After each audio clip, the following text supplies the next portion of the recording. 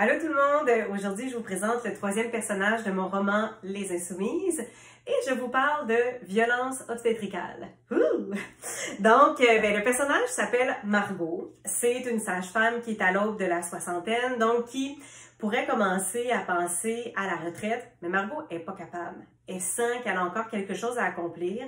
Et comme de fait, c'est le personnage qui va se mobiliser pour dénoncer la violence obstétricale.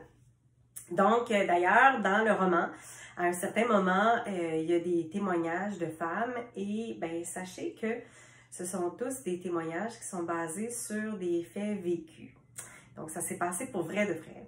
Euh, évidemment, j'ai changé les noms pour préserver l'anonymat des femmes qui se sont livrées à moi.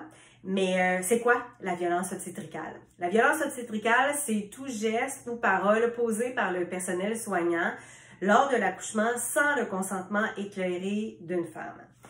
Euh, ben, c'est le moment où je vais me livrer un petit peu puis vous raconter euh, mon histoire. Parce que oui, j'ai vécu de la violence obstétricale. Euh, donc, moi, j'ai accouché, ça va faire bientôt 10 ans. Et j'ai adoré être enceinte. Euh, je pense que c'est le moment dans ma, dans ma, vie où je me suis sentie le plus libre et en paix avec mon corps. J'avais lu plein de livres sur la grossesse, l'accouchement. Fait que j'arrive à l'hôpital, passé mon terme, la poche des os crevées, pas une maudite contraction en vue. Et 36 heures plus tard, je n'étais toujours dilatée que de 4 cm. Ouch! Fait que j'ai donc dû éventuellement être provoquée et j'ai demandé la péridurale. Fait que là, à ce moment-là, la gentille infirmière me dit Il n'y a pas de problème. On va faire venir l'anesthésiste, mais juste te dire, il n'est pas gentil, mais c'est le meilleur. Hum, OK. Fait que là, le, fameux anesthésiste finit par rentrer dans la chambre. Puis moi, j'ai une scoliose dans le dos, fait que la piqûre, ça me stressait un peu, je lui en fais part. Et là, monsieur regarde mon chum, pas moi là, mon chum, et lui dit C'est pas la scoliose le problème,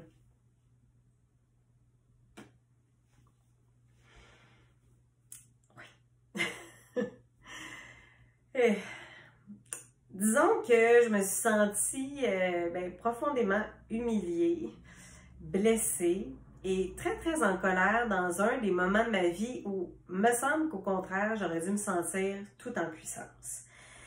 Mais bon, j'ai mis cette expérience-là de côté et c'est juste quelques années plus tard, quand j'ai commencé à faire des recherches sur le milieu des sages-femmes et surtout quand je suis devenue accompagnante à la naissance, que je me suis rendu compte qu'au fond de moi, là, c'était comme pas guéri. Il y avait comme une cicatrice invisible qui était là, puis à laquelle j'avais jamais pris soin, que je m'étais jamais attardée.